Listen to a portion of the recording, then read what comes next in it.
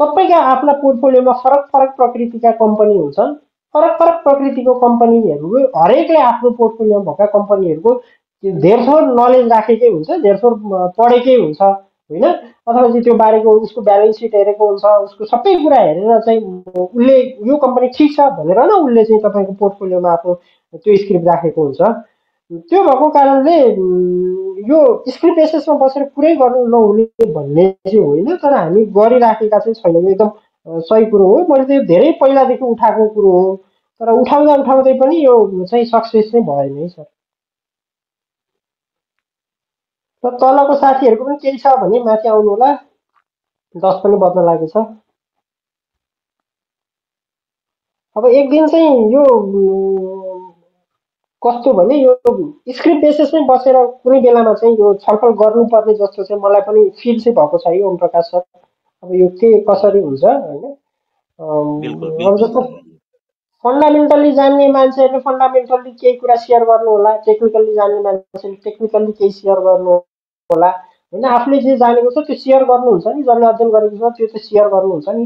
त्यो सेयर गरेको कुरो एकजनाले पढेको कुरो त क्लब हाउसमा यदि सयजनाले सुन्दैछ भने सयजनाको लागि त त्यो प्रोडक्टिभ भयो नि। उसले त्यो कम्पनीको बारेमा जानकारी त राख्यो नि। त्यो चाहिँ एकदम प्रोडक्टिभ हुन्थ्यो त्यसो गरेको भए चाहिँ तर हामीले गर्न सकिराखेका चाहिँ छैन। मुक्ति सर? हजुर हुनुहुन्छ? मुक्ति सर सायद अब हुनुहुन्छ होला। मुक्ति सर मुक्ति सर हुनुहुन्छ तर उहाँ बोलिरहनु भएको छैन। उहाँ एक एउटा प्रश्न थियो। हजुर भन्नु न ओम प्रकाश सर। होइन अरू त खास केही छैन सर यही हो मलाई यसो भन्न मन लागेको कुराहरू। अरू साथीहरू आउनुहोस् माथि आउनुहोस् न केही कुरा गरौँ राखौँ। राजा राजन सर हुनुहुँदो रहेछ राजन सर माथि आउनु न। त्यस्तो हुनु जस्तो चाहिँ मैले बोलाएको थिएँ।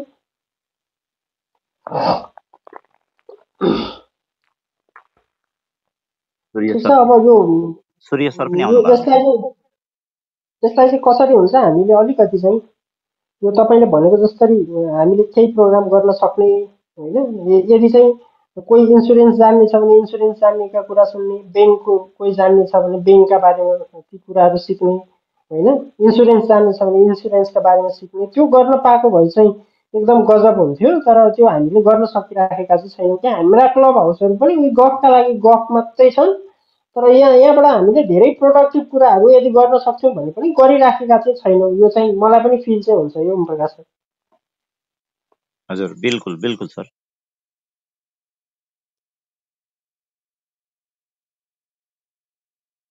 सूर्य सर हजुर माथि आउनु पर्यो सर। आउनुहोस्। कमल सर पनि हुँदो रहेछ। कमल सर माथि आउनुहोस्।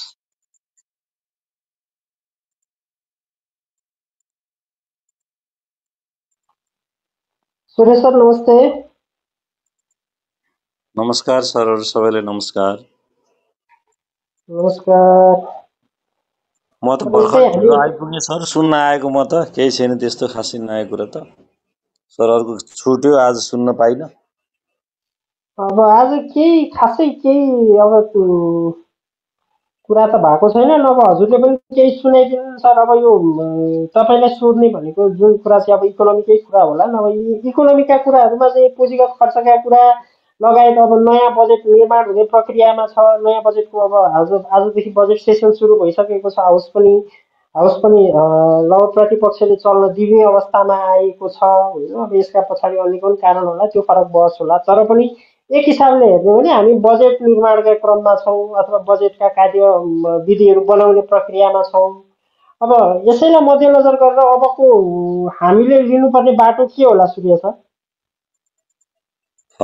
धन्यवाद सर। अब आर्थिक अवस्था त अब एकदमै क्रिटिकल नै छ सर होइन? अब सबैले सरहरू सबैले जानेकै कुरा हो। अहिले हाम्रो आर्थिक अवस्था राम्रो छैन सर। अब इम्पोर्ट बढिरहेकै छ। इम्पोर्टलाई अब चेक गर्न खोजे पनि अब त्यो हाम्रो खुल्ला बोर्डर भएको नाताले गर्दाखेरि त्यो सम्भव पनि छैन त्यति। अब त्यसबाट झन् चाहिँ तपाईँको गैर कानुनी व्यापारलाई त्यसले सहयोग गर्छ होला जस्तो लाग्छ मलाई धेरै टाइट गर्दाखेरि पनि। मुख्य कुरा अहिले के हो भने अब यो जुन ब्याङ्किङ क्षेत्रमा देखिएको लिक्विडिटी क्राइसिस नै हो सर। अब हाम्रो यसले मार्केटमा गरेको असर चाहिँ अब यो चार बाह्रको क्याप जुन छ त्यही क्यापको असर हो जस्तो लाग्छ मलाई। अहिलेसम्म अब कतिपयको अझै सेटल डाउन गर्नुपर्ने बाध्यता होला होइन? अब त्यो एउटा कुरा होला। अब बाध्यकारी अवस्थामा उहाँहरूले सेयर बेच्नुभयो होला। अब त्यसले के गरिदिन्छ भने जनरल मासमा प्यानिक क्रिएट गरिदिइराखेको छ कि अहिले होइन? एउटा कुरा अब अर्को अब यो इन्सुरेन्सको फन्डाले पनि अलिकति चाहिँ नेगेटिभ असर गर्यो सर आज होइन? अब यो मर्जरमा गयो भने अब तपाईँको आफ्नो सम्पत्ति लक हुने जस्तो अब हामी भोगिरहेको छौँ हिमालयन ब्याङ्क र इन्भेस्टमेन्ट ब्याङ्कको होइन? अब यसमा हाम्रो चाहिँ नियमनकारी निकायले स्पष्ट चाहिँ त्यो ल्याउँदैन अब हामी जति कराए पनि मर्चमा जाने त्यो कुरा जेसुकै भए पनि यसले एक दिन पनि कारोबार रोक्न हुँदैन भनेर हामी सबैले आवाज उठाइरहेका छौँ तर यो कुरालाई सुनवाई नै भएको छैन होइन? यो पनि एउटा कारण हो जस्तो लाग्छ मलाई। अब इन्सुरेन्समा क्यापिटल तपाईँको अब पुँजी वृद्धिले गर्दाखेरि अब पक्कै पनि एउटा लहर आउँछ। अब राइट सेयरहरू देला अथवा केही होला त्यो बेलामा अलिकति स्विङ आउला। भनेर केही साथीहरूले किन्नुभएको थियो होला। अब त्यो किनेको हुनाले अब इन्सुरेन्सहरू मर्चमै गइदियो भने त अब एकातिर चाहिँ तपाईँको आफ्नो पैसा बन्धक हुने भयो होइन। अब अर्कोतिर फेरि के भने इन्सुरेन्सहरूको जुन अहिले अब भोलि भोलि त हामी भन्न सक्दैनौँ अहिले इमर्जिङ सेक्टर हो। तर अहिलेको चाहिँ उनीहरूको प्राइस चाहिँ जस्टिफिएबल हुन्छ कि हुन्न भन्ने पनि त्यो अलिकति लाग्यो होला उहाँहरूलाई। जस्तो अब ब्याङ्कहरूको भनौँ न हामी तिन चार सय रुपियाँमा पाइरहने ब्याङ्कले कम्तीमा पनि दस पन्ध्र पर्सेन्ट बोनस सेयर दिने चाहिँ कन्फर्मै छ दिन्छ भने अब इन्सुरेन्स सेक्टरहरूको कैयौँ सेक्टरहरूको पाँच पाँच छ सय रुपियाँ हामीले हालेर किनेको होला। कतिपयले अहिलेसम्म केही पनि दिएको छैन होला भोलि पनि दिने सम्भावना छैन होला इपिएस ज्यादै कम छ होला त्यो हिसाबले पनि सोच्नुभयो होला। अहिले अब सचेत हुनु भइसक्यो धेरै मानिसहरू होइन जसले चाहिँ मैले अब क्यापिटल गेन गर्न सक्छु भनेर सेयरहरू किन्नुभएको थियो होला। उहाँहरूले पनि आत्तिएर आज तपाईँको चाहिँ स्टप लस गर्नुभयो जस्तो मलाई लाग्छ। मेरो आफ्नो एनालाइसिस हो त्यो चाहिँ होइन? तर यति धेरै प्यानिक चाहिँ आउन नपर्ने थियो होइन? अब यति ठुलो अङ्क हाम्रो अब सेयर मार्केट अचम्मको छ। बढ्दा पनि केही फन्डा नै चाहिँदैन। दिनमा सय अङ्क बढिदिन्छ घट्दा पनि घटिदिन्छ। एउटा त्यो भयो। अर्को चाहिँ तपाईँको अर्को कारण त अब सरहरूले पक्कै चर्चा गरिसक्नु भयो म ढिलो आएँ। यो विकास ब्याङ्कहरूको चाहिँ ब्याज पनि अलिकति बढेर आएको छ होइन? वाणिज्य ब्याङ्कहरूले ब्याज चाहिँ नबढाउने भन्ने सहमति गरे पनि ब्याज दर चाहिँ बिस्तारै उनीहरूले के गरेको छ भने बेस रेट बढेको कारणले बढिसकेको छ होइन? त्यो सरहरू तपाईँहरू हामी सबैलाई थाहा नै छ। ब्याङ्कले अहिले तत्काल चाहिँ ब्याज चाहिँ बढाएको छैन तर विगत चाहिँ दुई तिन महिनादेखि लगातार हाम्रो पुरानो ऋणको पनि बेस रेट बढेको कारणले गर्दाखेरि हाम्रो ब्याज दर बढ्दै गएको छ। अब मेरो जस्तो भएको छ अरू साथीहरूको पनि त्यस्तै हो होला होइन? त्यही भएको हुनाले साथीहरू अब धेरै आत्तिनु भयो होला प्यानिक भएर बेच्नु भयो होला जस्तो लाग्छ। त्यही तर अब मेरो आफ्नो विचारमा त अब मार्केटमा त्यति धेरै आत्तिने मान्छेले त गुमाउने नै हो सर होइन? अब यो चाहिँ यसको अर्थ फेरि चाहिँ अब आफ्नो फेरि पुँजी कहाँबाट ल्याएको हुन्छ त्यो पनि हेर्नु पऱ्यो होइन?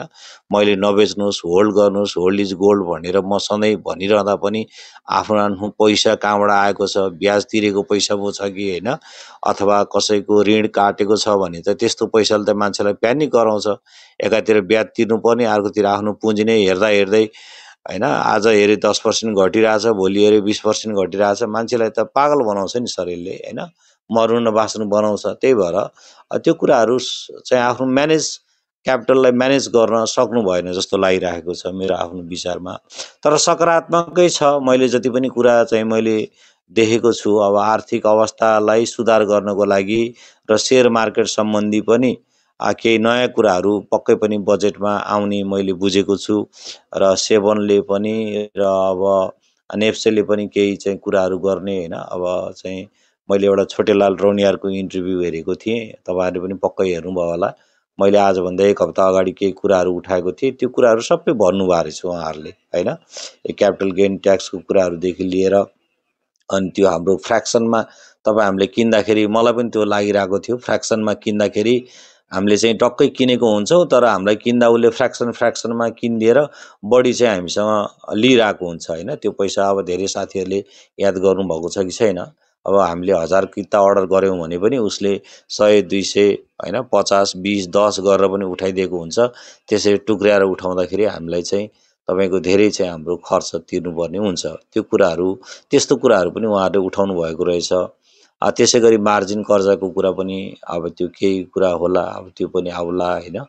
यी सकारात्मक एकैचोटि त नहोला। मुख्य कुरा टिएमएसको कुरा पनि उहाँहरूले जल्दो बल्दो रूपबाट उठाउनु भएको छ होइन? हाम्रो टिएमएस भनेको यो आउटडेटेड छ यो यो चल्दै चल्दैन होइन? अब जति अहिले सेयर मार्केटमा मानिसहरू आए त्यसलाई धान्न सक्ने टिएमएस प्रणाली चाहिँ ल्याउनु पर्यो भन्ने खालको कुरालाई जोरदार रूपमा एक नम्बर रूपमै हामीले उठाएको छौँ भन्नुभएको छ। यदि आयो भने सकारात्मकै मानौँ त्यसलाई टिएमएस पनि सुधार भयो भने। यिनै कुराहरू हुन् सर। अब सुधारको लागि अब कुराहरू उठिरहेका छन्।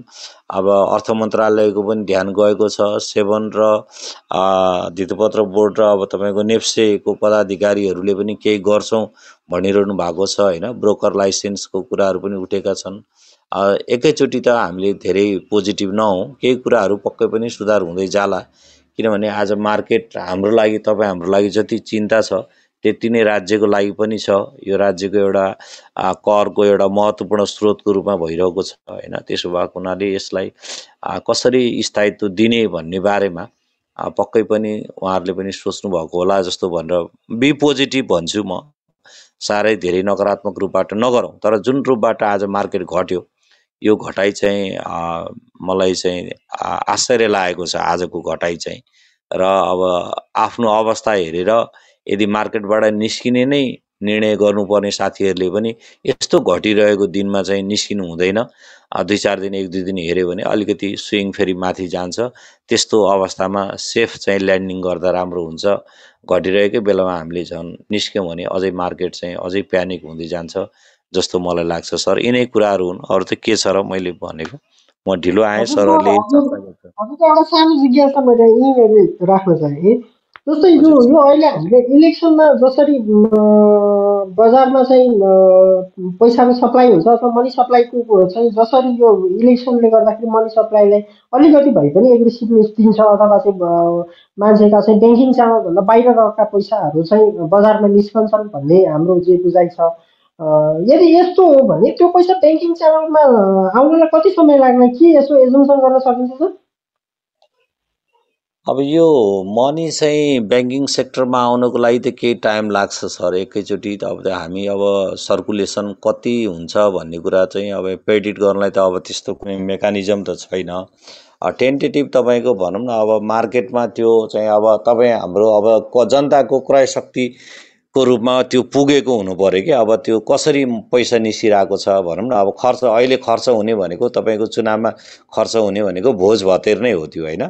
भोज भतेरमा खर्च भयो होला अथवा तपाईँको चाहिँ कसैले अब चन्दाको के अरे उपहारको रूपमा बाँड्यो होला त्यो पैसाहरूलाई अब त्यो पैसालाई अब त्यो टुक्रा टुक्रा रूपमा बाँडिएको हुन्छ अब त्यो पैसालाई एकुमुलेट हुनु पऱ्यो नि त एकुमुले एउटा व्यापारी कहाँ जानु पऱ्यो उसले पनि मानव कसैको हातमा हजार रुपियाँ पुग्यो भने उसले चाहिँ किराना पसलकोमा पुगेर दाल चामल तरकारी किनेको हुनु पऱ्यो अनि किराना पसलले त्यसलाई एकमुष्ट रकम बनाएर त्यो रकमलाई लगेर उसले आफ्नो किस्ता घटाएको अथवा आफ्नो सेभिङमा राखेको हुनु पऱ्यो त्यो च्यानलमा जानु पऱ्यो होइन सर एउटा कुरा त्यो हुनु पऱ्यो लागि त टाइम लाग्छ। र अहिले चाहिँ अलिकति चाहिँ यो देखिएको अवस्था के हो भने सर राष्ट्रिय रूपबाट पनि हाम्रो आर्थिक अवस्था अलिकति अहिले कमजोर भएको र अन्तर्राष्ट्रिय परिवेश पनि अलिकति अनुकूल नभएको कि। अन्तर्राष्ट्रिय स्तरमा पनि अलिकति यो युक्रेन र रसियाको युद्धले गर्दाखेरि महँगी अझै बढ्ने सङ्केत देखाइरहेको छ होइन। मेरो हिजो एउटा साथीसँग कुरा भएको थियो जर्मनमा बस्छ थियो उसले भन्दै थियो मैले कति भयो त्यहाँ तेल भन्दा? मैले एक सय सत्तरी भयो यार पेट्रोल भनेर। हिजै मात्रै कुरा गरेको। उसले त्यति सस्तो छ त्यहाँ तेल? यहाँ त हामी कहाँ त एकदम महँगो भइसक्यो पेट्रोल भनेर भन्यो उसले होइन? त्यस कारणले यो अझै चाहिँ तपाईँको अब हामीले सोचेकै थिएनौँ। हामी कहाँ पनि अब युक्रेनबाट प्रशस्त सामानहरू आउँदो रहेछ विशेष गरी खाने तेलहरू होइन? यिनीहरू आउँदो रहेछ। त्यसो भएको हुनाले यो कुराहरूको प्रभाव चाहिँ पर्छ सर। महँगी बढ्दैछ। महँगी चाहिँ तपाईँको मेरो विचारमा अहिले टु डिजिटभन्दा बढी हुन्छ सर। अहिले दस पर्सेन्टभन्दा बढी महँगी हुन्छ। चुनावको वर्ष पक्कै त्यसै पनि महँगी बढी हुन्छ। किनकि मान्छेको हात हातमा पैसा पुग्यो भने डिमान्ड बढ्छ। डिमान्ड बढेपछि महँगी बढ्छ। त्यो अनुसार सप्लाई नबढेपछि। अब टेन्टेटिभ तपाईँले मनीको सर्कुलेसन कति होला भन्ने कुरामा चाहिँ एक डेढ महिना दुई महिना चाहिँ देखिन्छ सर। त्यो लाग्छ त्यो टाइम लाग्छ। अब सहज अवस्था भयो भने लिक्विडिटी सहज हुनको लागि त यो यो वर्षको अन्त्य अन्त्यतिर नै पुग्नुपर्छ सर जस्तो लाग्छ। तैपनि हामी पोहोर परारको जस्तो लिक्विडिटी सहज अवस्थामा हुँदैनौँ।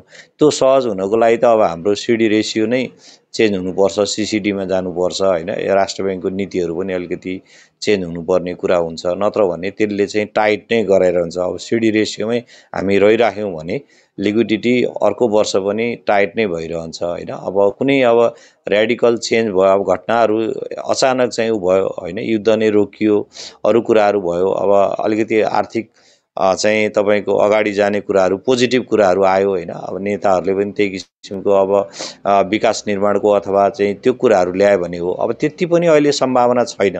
किनभने तपाईँको अब अझै हाम्रो चाहिँ अर्को चुनाव आउँदैछ प्रदेशको चुनाव आउँदैछ त्यसपछि अब राष्ट्रिय लेभलको चुनाव हुँदैछ। त्यस कारणले यो चुनावी वर्षमा चाहिँ विकास निर्माणतिर चाहिँ त्यति फोकस चाहिँ जाँदैन कि यो अब क्यापिटल एक्सपेन्डिचर हामी जति टार्गेट गरेका छौँ त्यो अनुसार गर्न सक्दैनौँ। पहिलो कुरा अब हङ चाहिँ गभर्मेन्ट छ। हङ गभर्मेन्ट हुने बित्तिकै त्यो एकलौटी गभर्मेन्टको जस्तो चाहिँ कार्यान्वयन हुँदैन। त्यो पनि समस्या हुन्छ। अब त्यसमा चाहिँ अर्थ मन्त्रालयदेखि लिएर अरू मन्त्रालयहरू पनि पनि सहयोग पऱ्यो अर्थमन्त्रीले मात्रै चाहेर पनि हुँदैन। अरू मन्त्रालयहरूले पनि त्यही अनुसारको आफ्नो मन्त्रालयको योजनाहरूलाई अगाडि बढाइदिनु भयो भने बल्ल खर्च हुने हो। त्यस कारणले यो हङ पार्लियामेन्ट चाहिँ हाम्रो पुँजी बजारको लागि चाहिँ अलिकति घातक नै हुँदो रहेछ भन्ने मैले देखेको छु सर। अब यिनै कुराहरू हुन् अहिले। अब हेरौँ बजेट भाषणसम्म हेरौँ अन्तिममा मैले तपाईँसँग एउटा सठिकमा एउटा उत्तर चाहिँ।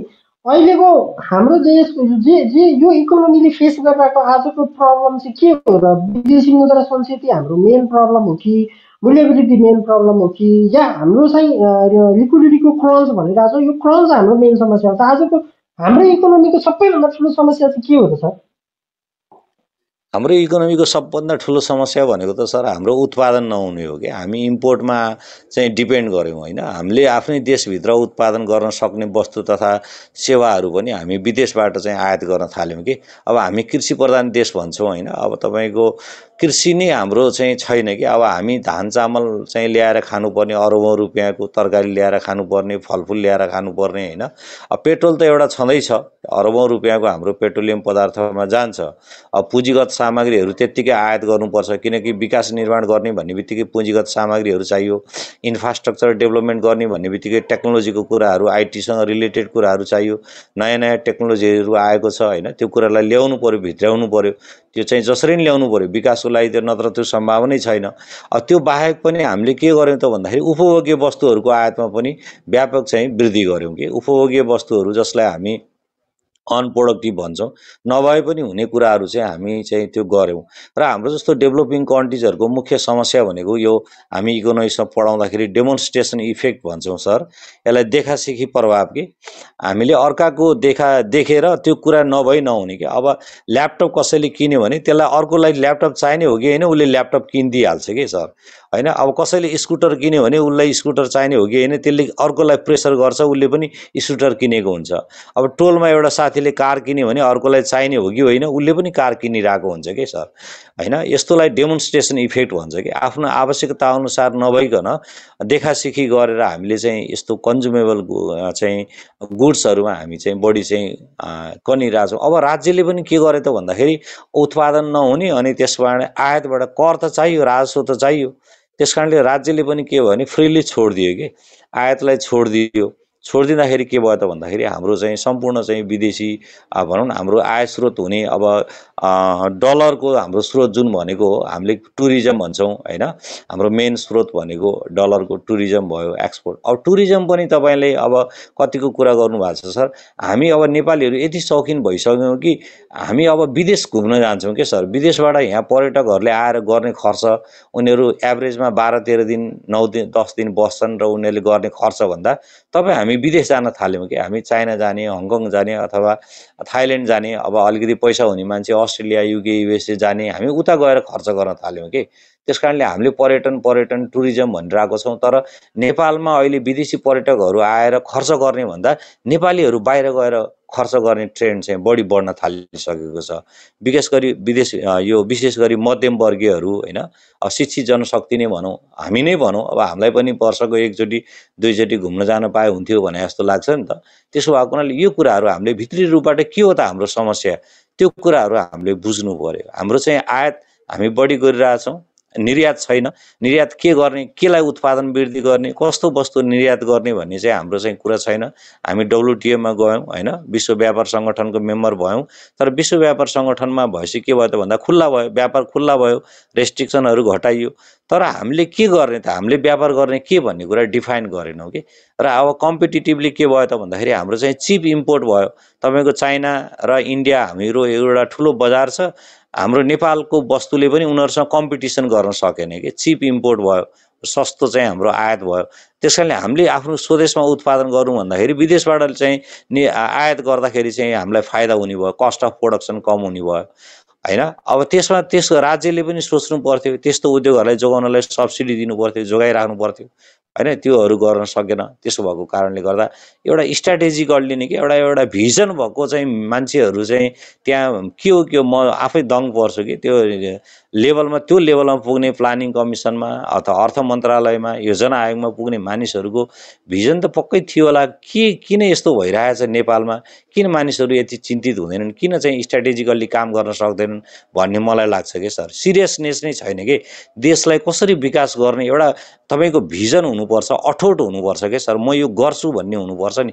त्यस्तो खालको नेताहरू नै हामीले देखिरहेको छैनौँ कि। हाम्रो दुर्भाग्य चाहिँ त्यो हो मुख्य कुरा अहिले नेपालको चाहिँ सर। डिटर्मिनेसन भएन कि हामी यो गर्छौँ देशलाई यो बनाउँछौँ यस्तो गर्न सक्छौँ। पुँजीको त अहिले अभावै छैन नि सर। नेपालमा यति चाहिँ सहयोग आइरहेको छ दिइरहेको छन् होइन मानिसहरूले। तर त्यसलाई चाहिँ ह्यान्डलिङ गर्ने होइन हामीलाई खालि सपना मात्रै बाँड्ने नेपालीहरूलाई त्यो भयो नेताहरूले अलि यथार्थमा ओर्लेर चाहिँ कामहरू गरेनन् कि। अहिले त्यो देखिरहेछ नि त चुनावको परिणामहरूले पनि देखाइरहेछ राजधानीले देखाइरहेको छ होइन? अब विभिन्न चलखेलहरू पनि होला हाम्रो नेपालको राजधानी जस्तो ठाउँमा होइन? एउटा चाहिँ यो चाहिँ गम्भीर कुरा हो क्या सर होइन? यो कुरा हामीले थिङ्क गर्नुपर्छ बहस गर्नुपर्छ सोच्नुपर्छ होइन? बालनले जित्नु नजित्नु भन्दा पनि अब पोलिटिकल पार्टिजहरू जसको चाहिँ हिस्ट्री छ जसले योगदान गरेका छ डेमोक्रेसीको लागि लडेका छन् मानिसहरू उनीहरूले सही मान्छे नउठाएको कारणले गर्दा आज जनतामा वितृष्णा उठेको हो नि त। यो कुराहरू त्यहाँ काठमाडौँमा मात्रै होइन हाम्रो चितवनमा पनि भइरहेको छ अन्यत्र ठाउँमा पनि भइरहेको छ। त्यस कारणले अब यो यी कुराहरूले चाहिँ अब यो हुन्छ सर। अब यो यङ जेनेरेसन्सहरू अलिकति चाहिँ त्यो भयो भने हो। अब यङ जेनेरेसन पनि अलिकति पलायन भइरहेको छ सबै मानिसहरू। अब नेपालमै बसेर चाहिँ तपाईँको चाहिँ अब खाना लाउनै नपुग्ने अवस्था छ होइन। अब यस्तो अवस्था छ। अनि के गर्ने? अनि सबै पलायन हुन्छ ब्रेन ड्रेन हुन्छ मान्छेहरू। जानै पऱ्यो बाध्य छ। अब म बसेँ भने मेरो छोराछोरी बस्दैन सर होइन। अब उनीहरू नबसेपछि उनीहरूको छोराछोरीहरू बस्दैन। मेरो फ्यामिलीमै धेरै फे परिवारहरू सबै कोही बेलायतमा छन् कोही अमेरिका छन् कोही अस्ट्रेलिया छन् होइन? दाइ तपाईँ चाहिँ ठिक गर्नुभयो भन्छन् मलाई। तपाईँ घुम्नु मात्र न आउनुहोस्। तर चाहिँ बस्ने गरेर नआउनुहोस् भन्छ। तर के भने उनीहरूले भनेको के भने यदि म पनि यहाँ यदि स्थायी कर्मचारी नभएको भए म पनि जान्थेँ होला होइन? यस्तो किसिमको अवस्था छ कि तपाईँ हामी सबैको अवस्था त्यो छ कि हामी नेपाल बसिरहेका छौँ जस्तो मुक्ति सर विदेश बसेर आउनुभयो उहाँलाई त्यो कुराहरू थाहा छ नि त? स्वाभिमानको कुरा नेपालीपनको कुरा आफ्नो देश भन्ने कुरा जति छ त्यहाँ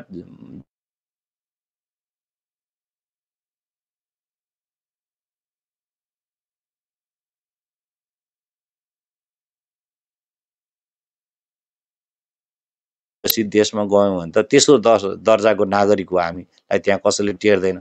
त्यस्तो भएको हुनाले त्यो कुराहरू बुझाउनु पऱ्यो त्यसको लागि नेताहरूले भिजन ल्याउनु पऱ्यो होइन?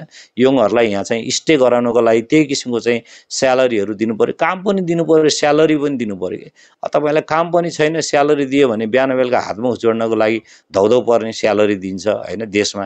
अनि कसरी मान्छे बस्छ? अनि कसरी त्यसले भ्रष्टाचार गर्दैन सर? यी सब कुराहरू छन् कि? यसको चाहिँ ठुलो बहस हुनुपर्छ सर। ठुलो छलफल हुनुपर्छ कि यो देशमा? किनभने नेताहरू अरबौँ रुपियाँ उनीहरू भ्रष्टाचार गरिरहेछ होइन। अब कर्मचारीलाई तपाईँको तिस चालिस पचास हजारको चाहिँ जाहिर खाएर एउटा फर्स्ट क्लास अफिसर कसरी काठमाडौँमा बस्न सक्छ सर होइन? त्यो कुराहरू थिङ्क गर्नु पऱ्यो नि।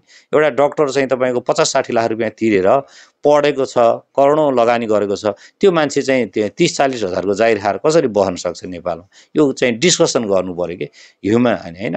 नयाँ कुराहरूमा हामीले लगानी गर्नु पऱ्यो यस्तो कुराहरूमा शिक्षामा स्वास्थ्यमा अनि त्यस्तै गरेर हामीले चाहिँ बजेट बनाउँदाखेरि अब त्यो हाम्रो पुरातनवादी सोच छ अब हाम्रो नेताहरूले त्यो गर्नै सक्नुहुन्न कि? किनभने नेताहरूमा त्यो आन्दोलन गर्न चाहिँ जान्नु भएको छ उहाँहरू होइन? उहाँहरू जेल नेल पनि बस्नु भएको छ तर विकास भनेको के हो त भन्नको लागि त टेक्निकल मान्छे चाहिन्छ नि। टेक्निकल मान्छेसँग चाहिँ सरसल्लाह गर्नु पऱ्यो नि। भिजन भएका मानिसहरू चाहिन्छ अनि बल्ल देश विकास हुन्छ सर। त्यो चाहिँ त्यो हुन सकिरहेको छैन। त्यही हो सर मैले देखेको चाहिँ नेपालमा।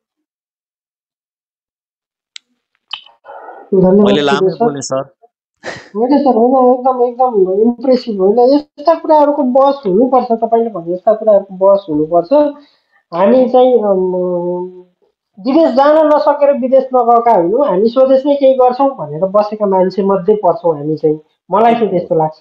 एकदम हो सर। हामी विदेशै जान नसकेर चाहिँ यो स्वदेशमा बसेर दुःख मेहनत गरिराखेका छौँ यसको मतलब चाहिँ हामी विदेशै जान नसक्ने मान्छे भन्ने चाहिँ होइन। तर हामीले बसिरहँदा पनि हामीलाई सपोर्ट गर्ने क्षेत्रले कसरी सपोर्ट गरिराखेको छ? अथवा हामीले यहाँ बसेर मेहनत गरिरहँदा त्यो मेहनतको फल के पाइराखेको छौँ भनेर मूल्याङ्कन पुनर्मूल्याङ्कन चाहिँ हुन जरुरी छ होइन?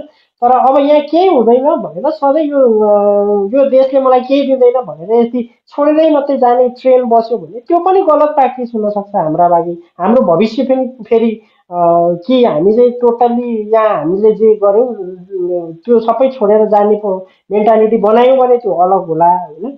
नभए चाहिँ यदि हामीले यहाँ केही बसेर गर्दैछौँ भने एउटा ल यिनीहरू यहाँ स्वदेशमा बसेर गर्नेहरूले पनि गर्दैछन् भन्ने र त्यो गर्दै गरेका कुरालाई पुस गर्ने टाइपको केही पाइयो भने चाहिँ त्यो सपोर्टिभ रोल चाहिँ हुन्छ। जो चाहिँ सरकारले अथवा सम्बन्धित सरोकारवाला हरेक क्षेत्रका हामीले केही पेसा गरिरहेछौँ भने पेसासँग समन्वयकारी भूमिका खेल्ने होइन यी सबै कुराहरूको सपोर्टिभ रोल चाहिँ ल्याकिङ चाहिँ छ तर यसको कहीँ न कहीँबाट हुनुपर्छ भन्ने माग चाहिँ हो। थ्याङ्क यू सूर्य सरलाई मैले मैले एउटा कुरा सेयर गरेँ सर। म एकजना हाम्रो डक्टर रामहरि सुवेदी भन्ने हुनुहुन्छ सर। उहाँ हाम्रो यहीँ चितवन गुन्जनर निवासी नै हो। अहिले चाहिँ उहाँ अमेरिकामा हुनुहुन्छ सर होइन? उहाँले कम्प्युटरमा यो पढ्ने युएसएमा पढ्ने क्रममा पिएचडी पनि गर्नुभएको छ र यो साइबर चाहिँ यो उहाँको ह्याकिङ सम्बन्धमा हो जस्तो लाग्छ मलाई पिएचडी उहाँसँग म जुममा एउटा दुइटा मिटिङमा सहभागी भएको थिएँ होइन? उहाँको तपाईँहरूले पनि युट्युबमा यसो हेर्नुभयो भने सायद सरहरूले पनि उहाँको कार्यक्रम हेर्नुभएको होला। डक्टर रामहरि सुवेदी भन्ने सरहरूले टिभी राख्नु होला। Professor doctor Ramhari Subedi. उहाँले यो नासाबाट पनि उहाँले चाहिँ सम्मानित हुनुभएको हो होइन? उहाँको पनि त्यस्तो भिजनहरूको कुराहरू उहाँले दिनुभएको छ कि? त्यो युट्युबमा पाइन्छ होइन? हाम्रो यहीँ चितवनवासी नै हुनुहुन्छ। अब यस्तो साथीहरू धेरै छन् सर होइन? अब हेर्दाखेरि त अब मान्छेहरू छन् अब तर के भने त्यो अनुसारको चाहिँ हाम्रो देशले बाटो नलिएको जस्तो लाग्छ कि अब जस्तो अब भनौँ न अहिलेको अब हाम्रो डक्टर विश्व पौडेल नै अब हामीहरू चितवनकै हुनुहुन्छ उहाँ पनि। अब उहाँ पनि राम्रो अर्थशास्त्री हो प्लानिङ कमिसनको उपाध्यक्ष हुनुभएको छ। पक्कै पनि केही गर्नु होला जस्तो लागिरहेको थियो मलाई होइन? अब योभन्दा अगाडिको अब स्वर्णिम वागले होइन? अब विश्व यिनीहरू यङहरू छन् सर इकोनोमिस्टहरू उनीहरूको भिजनहरू छ नभएको होइन। तर त्यो इम्प्लिमेन्टेसन गर्ने चाहिँ आखिर चाहिँ हाम्रो प्राइम मिनिस्टरहरूले गर्ने हो नि त मिनिस्टरहरूले गर्ने हो नि त। अब त्यो इम्प्लिमेन्ट उनीहरूको इच्छा शक्ति हुनु पऱ्यो कि? इच्छा शक्ति हुनु पऱ्यो उनीहरू यस्तो जन्जालमा फँसेको छ कि सर? एउटा सर्कल छ घेरा छ र त्यो घेरामा भएको मानिसहरूले उनीहरूलाई गुमराहमा राखेर उनीहरू आफ्नो मात्रै मोज मस्ती गरिरहेको छ सर। सबै चाहे त्यो काङ्ग्रेसमा होस् चाहे एमालेमा होस् चाहे जुनसुकै होस् जो आज सत्ताको वरिपरि पुगेका पार्टीहरू छन् र नेताहरू छन् तिनीहरूको बाहिर एउटा यस्तो चाहिँ तपाईँको लियर छ। त्यो लियर चाहिँ वास्तविक जनतासँग र जनता यस्तो भिजन दिने मानिसहरूसँग त्यो पुग्नै पाउँदैन के सर? त्यस्तो किसिमको लेयरमा उहाँहरू बन्धनमा चाहिँ बसिरहनु भएको छ जस्तो लाग्छ कि मैले हेर्दाखेरि चाहिँ। मेरो आफ्नो विचारमा। थ्याङ्क यू सूर्य सर अब हामी धेरै रात पनि परिसकेछ। दस बजीसम्म चलाउने प्रोग्राम आज साढे दससम्म सूर्य सर आउनुभयो। धेरै कुरा सेयर गरिदिनु भयो हजुरलाई धेरै धेरै धन्यवाद भन्न चाहेँ र अन्तिममा सबैलाई एकचोटि फेरि बजार भनेको चाहिँ अब सबैभन्दा स्मार्ट हामीभन्दा स्मार्ट हाम्रो बजार नै हो। अब बजारले चाहिँ हामीलाई जे कुरा दिएको त्यो नै सत्य हो। अब हेर्दै जाउँ अब बजार राम्रो होला भन्ने आश राखौँ। बजारसँग पीडा बोक्यो भने उही पीडा बोक्यो भने फेरि त्यसले पीडै कम्पाउन्डिङ गर्ने हो कि हामी सेयर कम्पाउन्डिङ गर्ने भन्छौँ नि होइन? त्यसैले हेर्छौँ अब फेरि बजारसँग आशै हो बोक्ने अब भोलिको बजार राम्रो होला राम्रो होस् भन्ने कामना गर्न चाहे र आज सबैलाई गुड नाइट भन्न चाहे है। हस् धेरै धेरै धन्यवाद सबैले यति साथ दिनुभयो। Good night